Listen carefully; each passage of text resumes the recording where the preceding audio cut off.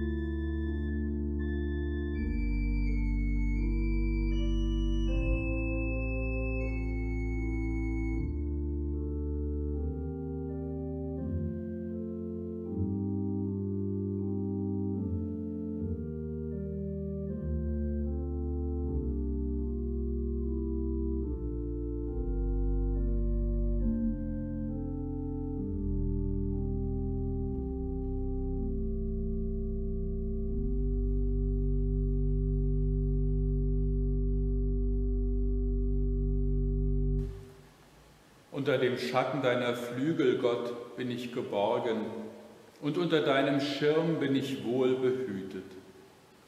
Du bist für mich wie eine Burg, auf der ich geborgen bin, wie ein Fels, auf dem ich sicher wohne. Du gibst mir Hoffnung, dass ich nicht verloren gehe, und schenkst mir Zuversicht, dass ich vor Gefahr bewahrt werde. Du errettest mich aus den Stricken des Jägers und bewahrst mich vor tödlicher Krankheit. Deine Wahrheit ist mir wie ein Schild, sie bewahrt mich vor den Pfeilen, die des Tages fliegen und vor den Gefahren der Nacht. Unter deinen Fittichen beschützt du mich mit deiner Liebe und schenkst mir Zuflucht vor der Pest, die mich verderben will. Du bist meine Zuversicht, Gott, und meine Zuflucht. Kein Übel wird mich herabziehen und keine Plage mich dauerhaft bedrohen. Denn du, Gott, hast deinen Engeln befohlen, dass sie mit mir sind auf meinen Wegen, dass sie mich bewahren vor dem Übel und ich meinen Fuß nicht an einen Stein stoße. Ich werde meinen Fuß auf Löwen und Ottern setzen und Raubtiere und sogar Drachen niedertreten. Unter dem Schatten deiner Flügel, Gott, bin ich geborgen, und unter deinem Schirm bin ich wohl behütet. Ein feste Burg ist unser Gott, ein gute Wehr uns frei aus aller Not, die uns jetzt hat betroffen. Der altböse Feind, mit Ernst er's jetzt meint, Großmacht und viel ist, sein grausam Rüstung ist. Auf Erd ist nicht seinsgleichen. Lesung aus dem ersten Buch Mose im dritten Kapitel. Die Schlange war listiger als alle Tiere auf dem Felde, die Gott der Herr gemacht hatte und sprach zu der Frau, ja, sollte Gott gesagt haben, ihr sollt nicht essen von allen Bäumen im Garten? Da sprach die Frau zu der Schlange, wir essen von den Früchten der Bäume im Garten. Aber von den Früchten des Baumes mitten im Garten hat Gott gesagt, esset nicht davon, rühret sie auch nicht an, dass ihr nicht sterbet. Da sprach die Schlange zur Frau, ihr werdet keineswegs des Todes sterben, sondern Gott weiß, an dem Tage, da ihr davon esst, werden eure Augen aufgetan und ihr werdet sein wie Gott und wissen, was gut und böse ist. Und die Frau sah, dass von dem Baum gut zu essen wäre und dass er eine Lust für die Augen wäre und verlockend, weil er klug machte. Und sie nahm von seiner Frucht und aß und gab ihrem Mann, der bei ihr war, auch davon, und er aß. Da wurden ihnen beiden die Augen aufgetan, und sie wurden gewahr, dass sie nackt waren, und flochten Feigenblätter zusammen und machten sich Schurze. Und sie hörten Gott, den Herrn, wie er im Garten ging, als der Tag kühl geworden war, Adam versteckte sich mit seiner Frau vor dem Angesicht Gottes des Herrn zwischen den Bäumen im Garten.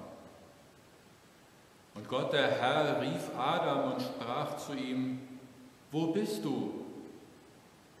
Und er sprach, Ich hörte dich im Garten und fürchtete mich, denn ich bin nackt, darum versteckte ich mich. Und er sprach, Wer hat dir gesagt, dass du nackt bist? Hast du gegessen von dem Baum, von dem ich dir gebot, du solltest nicht davon essen? Da sprach Adam, die Frau, die du mir zugesellt hast, gab mir von dem Baum und ich aß. Da sprach Gott der Herr zur Frau, warum hast du das getan? Die Frau sprach, die Schlange betrog mich, so dass ich aß. Da sprach Gott der Herr zu der Schlange, weil du das getan hast, seist du verflucht vor allem Vieh und allen Tieren auf dem Felde. Auf deinem Bauche sollst du kriechen und Staub fressen dein Leben lang. Und ich will Feindschaft setzen zwischen dir und der Frau und zwischen deinem Samen und ihrem Samen. Er wird dir den Kopf zertreten und du wirst ihn in die Ferse stechen. Und zur Frau sprach er, ich will dir viel Mühsal schaffen, wenn du schwanger wirst. Unter Mühen sollst du Kinder gebären. Und dein Verlangen soll nach deinem Manne sein, und er soll dein Herr sein. Und zum Mann sprach er, weil du gehorcht hast der Stimme deiner Frau und gegessen von dem Baum, von dem ich dir gebot und sprach, du sollst nicht davon essen. Verflucht sei der Acker um deinetwillen. Mit Mühsal sollst du dich von ihm nähren dein Leben lang. Dornen und Disteln soll er dir tragen, und du sollst das Kraut auf dem Felde essen. Im Schweiße deines Angesichtes sollst du dein Brot essen, bis du wieder zur Erde wirst, davon du genommen bist. Denn Staub bist du, und zum Staub kehrst du zurück. Und Adam nannte seine Frau Eva, und sie wurde die Mutter aller, die da leben.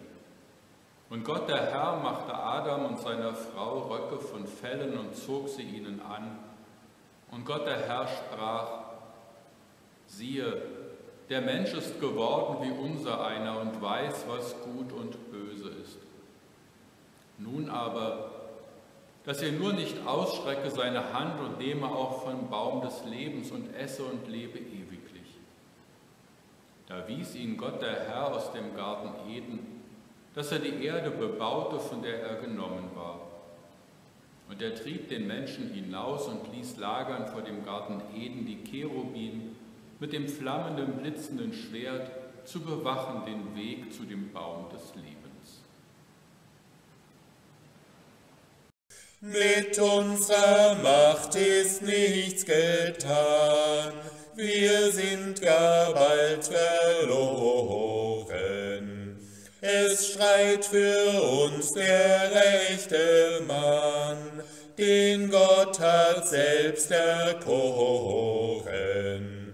Fragst du, wer der ist? Er heißt Jesus Christ, der Herr Zebaoth, und ist kein anderer Gott.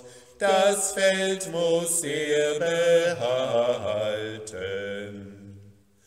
Und wenn die Welt voll Teufel wär und wollt uns gar verschlingen, so fürchten wir uns nicht so sehr, es soll uns doch gelingen. Der Fürst dieser Welt, wie sauer er sich stellt, tut er uns doch nicht, das macht er ist Gericht, ein Wörtlein kann ihn fällen.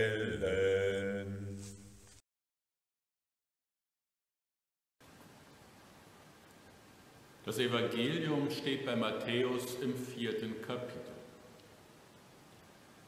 Jesus wurde vom Geist in die Wüste geführt, damit er von dem Teufel versucht würde. Und da er 40 Tage und 40 Nächte gefastet hatte, hungerte ihn. Und der Versucher trat herzu und sprach zu ihm, Bist du Gottes Sohn? So sprich, dass diese Steine Brot werden. Er aber antwortete und sprach, Es steht geschrieben, der Mensch lebt nicht vom Brot allein, sondern von einem jeden Wort, das aus dem Mund Gottes geht. Da führte ihn der Teufel mit sich in die heilige Stadt und stellte ihn auf die Zinne des Tempels und sprach zu ihm, Bist du Gottes Sohn, so wirf dich hinab, denn es steht geschrieben, er wird seinen Engeln für dich Befehl geben, und sie werden dich auf den Händen tragen, damit du deinen Fuß nicht an einen Stein stößt. Da sprach Jesus zu ihm, wiederum steht auch geschrieben, du sollst den Herrn, deinen Gott, nicht versuchen. Wiederum führte ihn der Teufel mit sich auf einen sehr hohen Berg und zeigte ihm alle Reiche der Welt und ihre Herrlichkeit und sprach zu ihm, das alles will ich dir geben, wenn du niederfällst und mich anbetest. Da sprach Jesus zu ihm, Weg mit dir, Satan, denn es steht geschrieben, du sollst anbeten den Herrn, deinen Gott, und ihm allein dienen. Da verließ ihn der Teufel, und siehe, da traten Engel herzu und dienten ihm. Auf meinen lieben Gott trau ich in Angst und Not.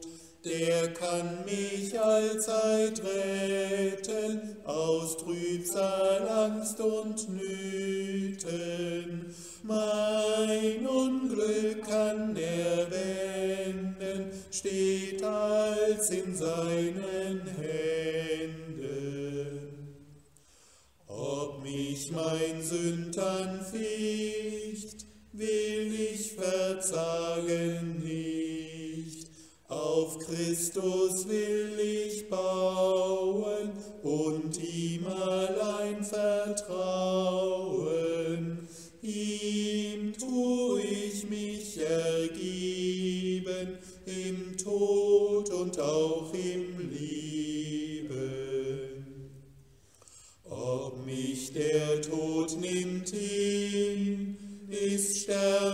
Mein Gewinn.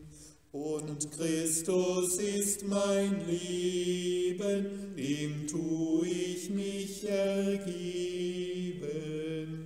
Ich sterb heut oder morgen, mein Ziel wird er versorgen. Versuchung. Die Fernsehgucker unter Ihnen denken vielleicht an Schokoladenwerbung, die süßeste, die zarteste Versuchung. Und die Werbung ist darauf angelegt, dass wir der Versuchung nachgeben. Es ist nicht weiter schlimm, wenn wir der Versuchung erliegen, eher im Gegenteil, jedenfalls aus Sicht der Werbeindustrie. Versuchung, so wie wir es im Alltag verwenden, hat das Wort keine existenzielle, bedrohliche Bedeutung, sondern es ist eher ein Stückchen Schokolade. Wenn Schüler über Versuchung nachdenken, dann fällt ihnen als erstes ein der Test. Wenn der Mathelehrer sagt, Bücher zu, Zettel raus, ich diktiere euch eine Aufgabe, um zu sehen, ob ihr auch wirklich alle Aufgaben gemacht habe. Versuchung, ein Test, wie ein Lehrer es mit uns macht. Solche Geschichten sehen wir in der Bibel auch. Versuchung, da geht es um etwas wirklich für unser Leben Bedrohliches. Da ist die Schlange, die listig ist und einflüstert, von dieser Frucht ist es doch gut essen. Das ist nicht so gemeint. Und wir erliegen ganz oft dieser Versuchung. Da gibt es ein Verbot, da gibt es ein Wissen im Hinterkopf, aber wir trauen eher unseren Augen. Da steht ein Schild, Vorsicht, 30 fahren, aber wir trauen uns zu, wir können doch schneller fahren, die Straße sieht doch gut aus. Wir sehen angeblich saubere Energiequellen. Es sieht doch gut aus. Was interessiert uns, was Wissenschaftler über Ozon und Ähnliches erzählen? Erderwärmung, das sieht man doch nicht. Wir glauben nur dem, was wir vor Augen haben und nicht dem, was uns gesagt ist. Die listige Schlange, die Frage, die sich uns immer wieder aufs Neue stellt, wem vertrauen wir mehr? Dem, was uns gesagt ist oder dem, was uns vor Augen liegt, was unser Verstand, unsere Augen, unsere Hände uns nahelegen. Und Jesus, 40 Tage hat er gefastet, Hunger muss er gehabt haben. Und dann die Überlegung, als Sohn Gottes aus diesen Steinen Brot machen. Wie gut wäre es. Aber Jesus, er ist Mensch geworden, um unseren menschlichen Weg zu gehen, auch den Weg der Schwäche und des Scheiterns. Hätte er dieser Versuchung nachgegeben, seine Aufgabe wäre gescheitert. Macht haben. Das Angebot, du kannst alles haben, das wird uns immer wieder gemacht. Aber dann freiwillig zu sagen, nein, ich brauche nicht alles, ich brauche nicht mehr, ich habe das, was ich brauche, ich kann verzichten, ich kann mich einschränken, ich brauche nicht immer mehr Wachstum, nicht immer mehr Güter, nicht immer mehr Macht, ich habe genug, ich brauche nicht mehr. Und führe uns nicht in Versuchung, beten wir im Vater unser. Die Verse davor zeigen uns, worum es geht. Es geht nicht darum, dass Gott uns eine fiese Falle stellt, um zu testen, ob wir auch wirklich gehorsam sind. Es geht um die Möglichkeiten, die er uns schenkt. Wir bitten um unser tägliches Brot. Wir bitten um Sündenvergebung, um Schuldvergebung. Und die Gefahr, in der wir sind, das Brot, was wir bekommen, nur für uns zu behalten und es nicht zu teilen. Die Gefahr, in der wir sind, das Brot zu nehmen es als unser Verdienst, unsere Leistung zu sehen und nicht als Geschenk, das wir aus Gnade vom liebenden Gott bekommen. Anderen Schuld vergeben. Die Gefahr, in der wir sind, die anderen zu erpressen mit dem, was sie falsch gemacht haben. Und auch die Gefahr, dass wir selber für uns nicht auf Vergebung hoffen, sondern in eigener Schuld verstrickt bleiben. Gott schenkt uns Gaben, Begabungen. Wir sollen und können sie richtig nutzen. Das ist die Versuchung, in der wir sind, die Dinge für uns zu behalten, sie nicht weiterzugeben, sie nicht zu teilen.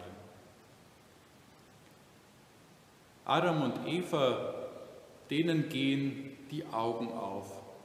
Als sie von der verbotenen Frucht essen, begreifen sie, wir sind in der Lage, Böses zu tun und in der Lage, Gutes zu tun. Wir Menschen haben die Fähigkeiten zu beiden, dass wir uns richtig entscheiden, dass wir das Gute tun, auf das Gute vertrauen. Das ist unsere Aufgabe in diesem Leben. Und wir können es, wenn wir auf Gott vertrauen, wissen, dass wir fehlerhafte Menschen sind, die auf Gottes heilsames Wirken angewiesen sind. Aber Gott ist an unserer Seite. Die Passionszeit erinnert uns daran, dass Gott uns in diesen schwierigen Entscheidungen, in unserer eigenen Verlorenheit und Schwachheit nicht alleine lässt, er geht an unserer Seite. Er lässt sich den Versuchungen aussetzen, die auch unser Leben bedrohen. Weil Gott an unserer Seite ist, darum können, dürfen wir vertrauensvoll leben. Amen. O mein Herr Jesu Christ, der du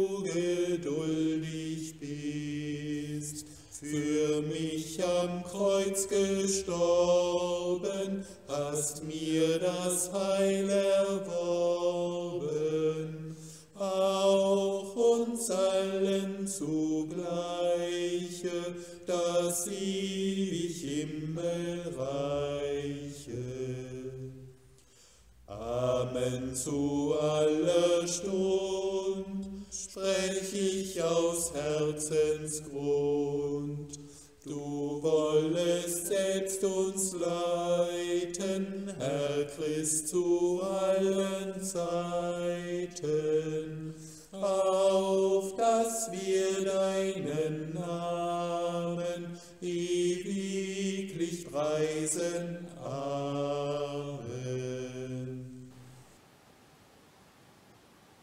Lasst uns beten. Herr unser Gott, du schenkst uns so viele Möglichkeiten, Möglichkeiten zum Handeln, Möglichkeiten zum Hören, Möglichkeiten zum Reden. Wir bitten dich, hilf du uns im Gewirr der Stimmen deine Stimme zu hören. Hilf du uns, die Gaben, die du uns schenkst, in deinem Sinne anzuwenden, dass wir weitergeben, was du uns schenkst, die Liebe, die wir empfangen, die Nahrung, die wir empfangen, die Freiheit, die wir empfangen, das Vertrauen, den Glauben, den wir empfangen. Mache du uns zu Werkzeugen deines Friedens in dieser Welt. Vater unser im Himmel, geheiligt werde dein Name, dein Reich komme, dein Wille geschehe, wie im Himmel so auf Erden. Unser tägliches Brot gib uns heute und vergib uns unsere Schuld, wie auch wir vergeben unseren Schuldigern. Und führe uns nicht in Versuchung, sondern erlöse uns von dem Bösen. Denn dein ist das Reich und die Kraft und die Herrlichkeit in Ewigkeit. Amen. Der Herr segne dich und behüte dich. Der Herr lasse sein Angesicht leuchten über dir und sei dir gnädig. Der Herr erhebe sein Angesicht auf dich, er schenke dir Frieden. Amen.